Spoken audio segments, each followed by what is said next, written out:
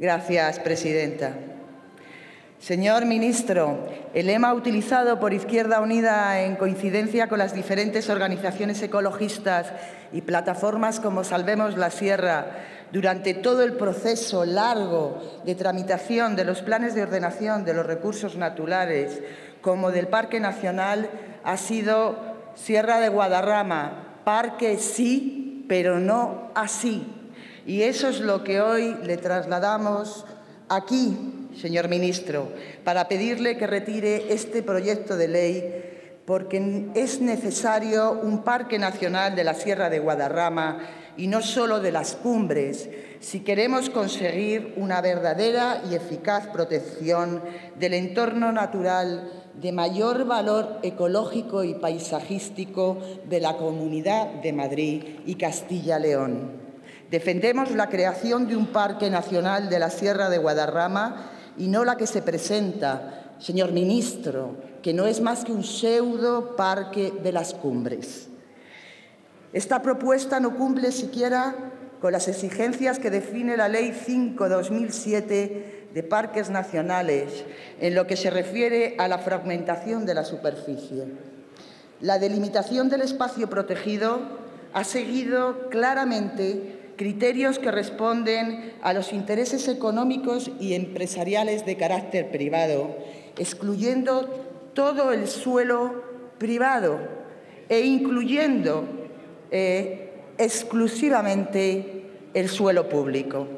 Esto hace que el espacio definitivamente protegido quede delimitado de forma irregular, existiendo un elevado efecto borde con estrangulamientos que suponen un grave riesgo para la conservación de los ecosistemas y de la fauna y de la flora. Esto ha hecho que nos encontremos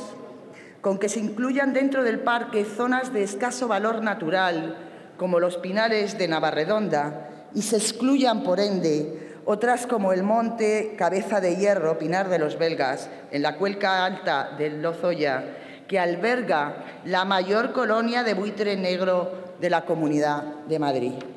Este Parque Nacional de las Cumbres no asegura una protección suficiente para el ecosistema de la Sierra de Guadarrama y abre la puerta a la urbanización de amplias zonas.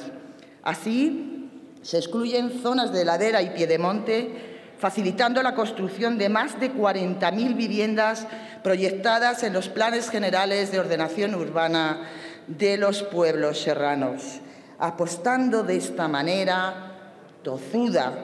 por un modelo económico basado en el ladrillo que ya está más que demostrado como nefasto y perverso. Desprotege más que protege, porque la zona protegida propuesta ya lo está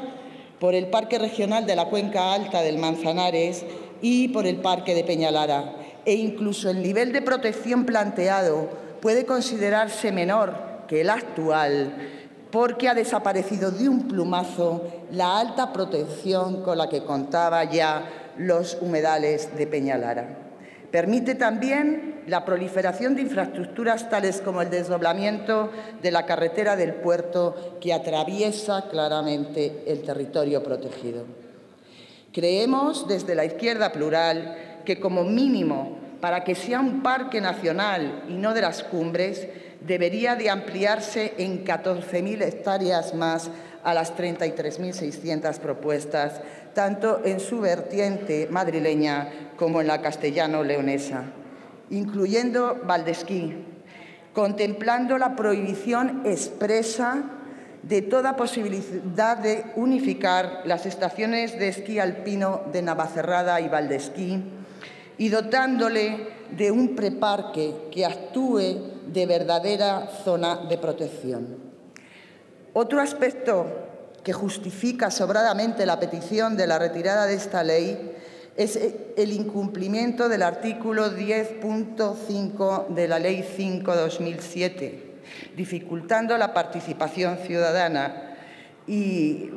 dejando bien claro que ni en el procedimiento de aprobación del Plan de Ordenación de Recursos Naturales, donde se presentaron 18.500 alegaciones en la Comunidad de Madrid, ni en la aprobación del Parque Nacional, con más de 1.000 alegaciones,